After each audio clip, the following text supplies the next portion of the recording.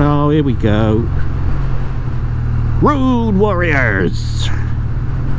Dun, dun, dun, dun, dun, dun.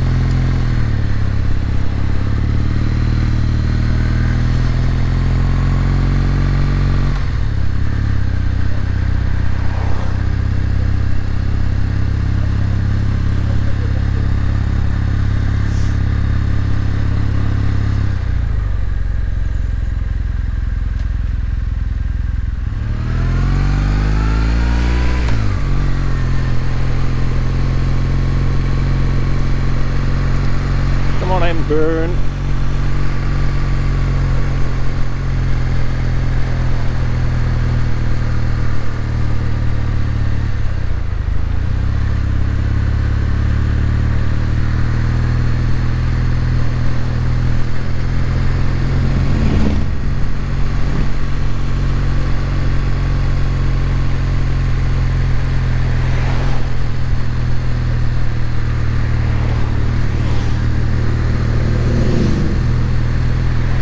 Popular place for bikes.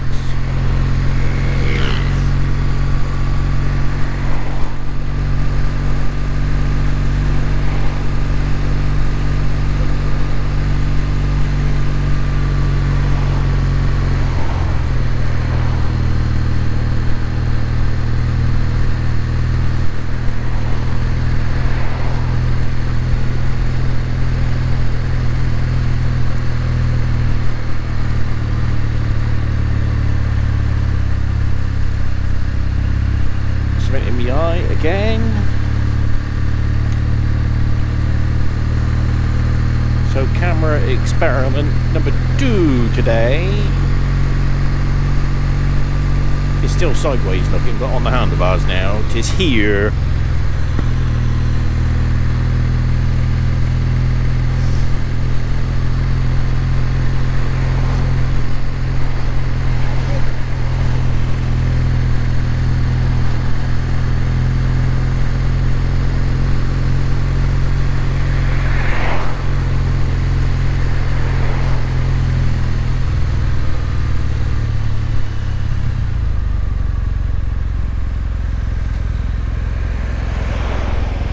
Was hour ist es?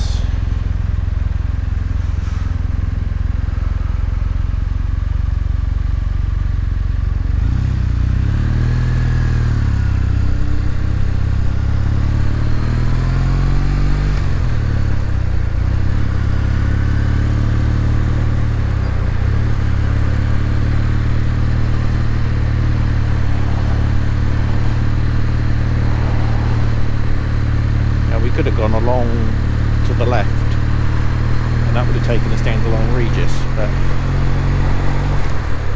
I haven't got time for that this afternoon. So we'll have to make do with uh, back the way we came.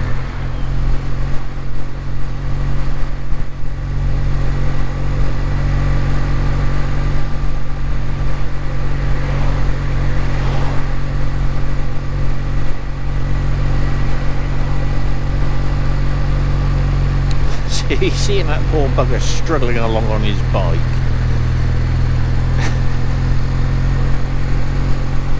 used to cycle a lot as a kid, as most kids do. Thing I don't like about cycling is all the pedalling. It's hard work.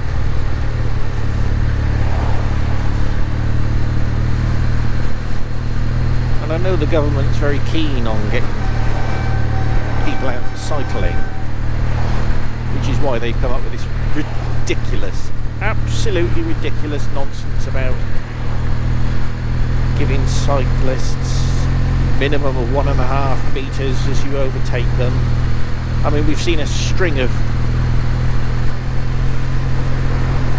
I'll refrain from swearing, but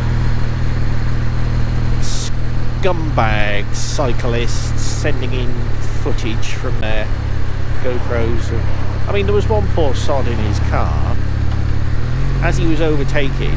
I mean, the cyclist was taking up half the road. As he was overtaking, there was another car coming the other way towards him. He didn't have anywhere to go really, and so he passed what the cyclists deemed a bit close. Because the police are more interested in woke virtue signalling, they thought, oh, we'll have a go at that. So he got fined and points, apparently. And this utterly absurd Dutch reach sounds like something out of a porn film. I'm not using my left hand to open the car door quite capable of checking my mirrors, thank you, before I open the door.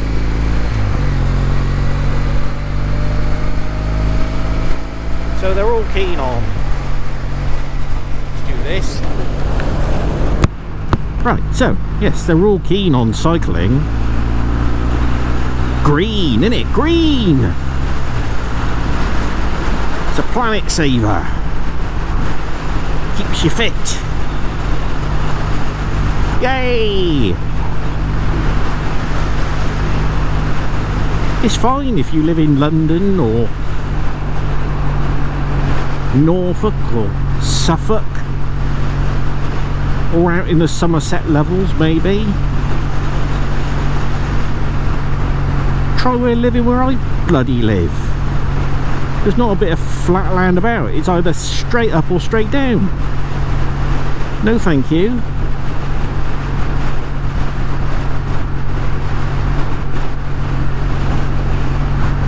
There's talk in the uh, in the media about uh, it'll come to nothing I'm sure but there's talk about cyclists having to have insurance and license plates.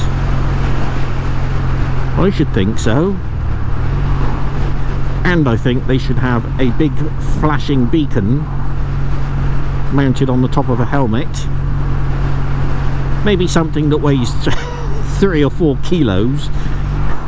And I think it should give off a siren sound as well as they pedal along.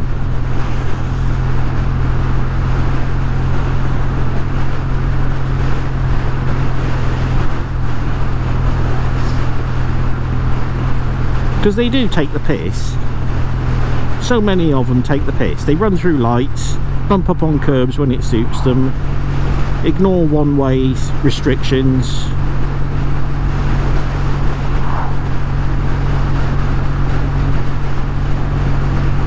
I've got to pay road tax for this. I've got to insure it. I've got to have a license for it. I've got to pass a test to ride it. If I break the speed limit and I get caught I get points.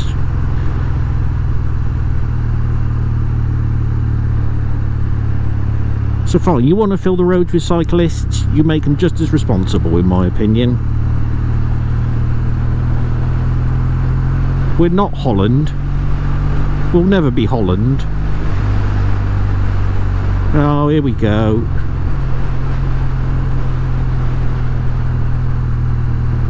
Road Warriors!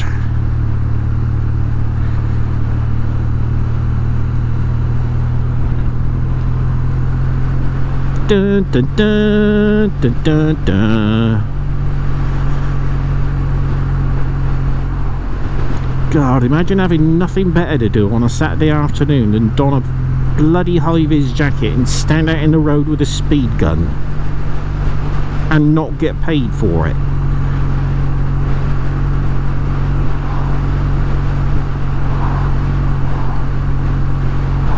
I mean, you've got to have a heart blacker than I've got.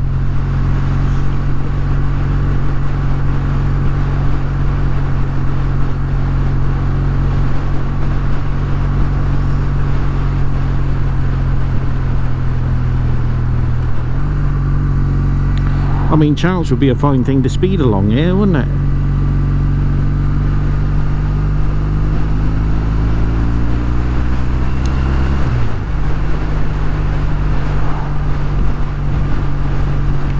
Thing is, with electric bicycles now, they can all do more than 30 mile an hour, no problem.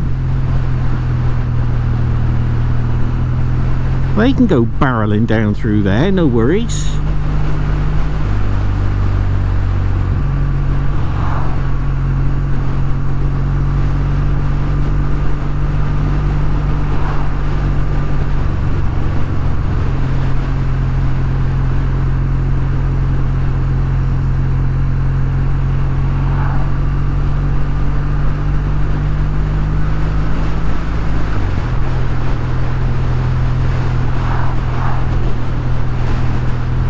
While I'm ranting I ranted about this last week um, but I didn't I didn't include it. I didn't finish that part. Oh my god what was that? That was a big insect. I don't know how they come out of the bush. Straight at you like scud missiles. Anyway as I was ranting and that Tesla went by. Electric cars. I'm sick of them already.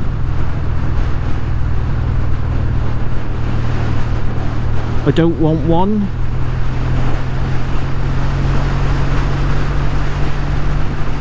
I don't see how they are any greener for the environment other than the immediate environment that they are driving in because they don't give out disgusting black smoke like diesels do. So that's fine, I get that, that's alright. But you can't tell me that replacing 3 billion cars on the planet with batteries is not going to be an environmental disaster in and of itself. Um, I got nowhere to park one at night and charge it. And I was thinking yesterday, that trip up to Kenilworth, I'd have had to have stopped along the way, found somewhere to charge it, waited 40 minutes to an hour while it charges. No thank you.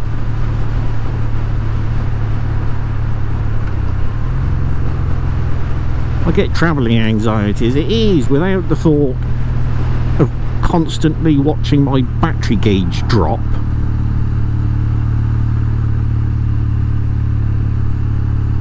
Bit warm outside, pop the air conditioning on. No, thank you, not with my battery, you don't. Open the window. No, you don't.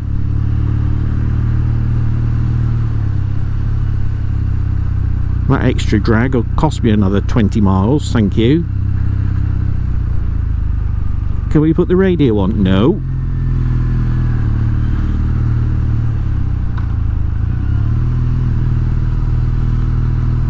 Can so-and-so come along for the ride? No, because it's extra weight.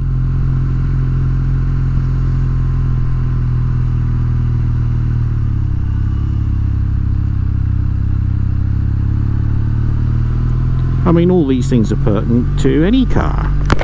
But the difference is, in a petrol engine, there's no shortage of petrol stations. And it takes minutes, minutes to fill up and be back on the road.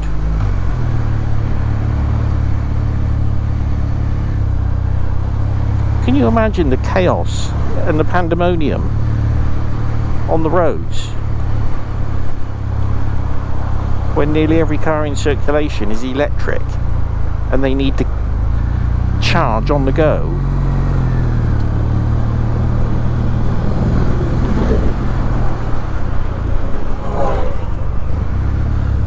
Going to be like there's a fuel shortage but permanently.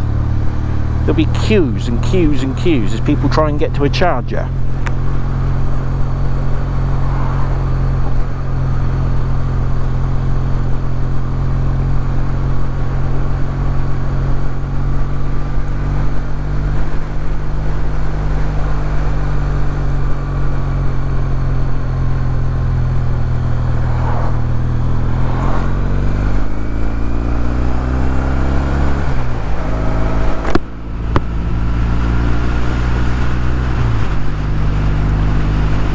Mean, what about the millions and millions of people that live in rows of terraced housing who at the best of times can't park anywhere near their house because there's scores of cars already there. How are they going to charge overnight?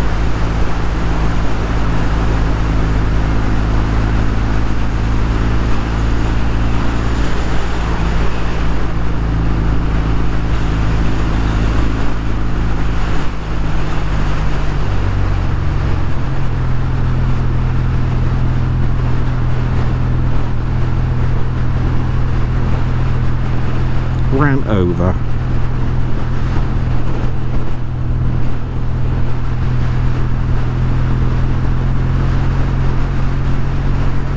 Now then, this tunnel they built because the old road used to go up, oop, up there. And it was too much for the horses, horse and cart. You imagine them dragging all up that hill. And so this tunnel was commissioned.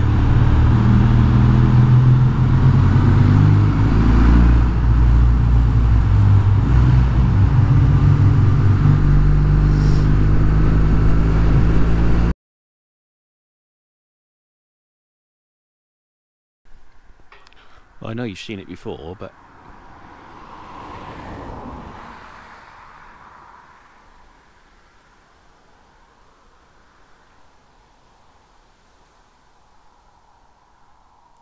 Yeovil in all its uh, glory.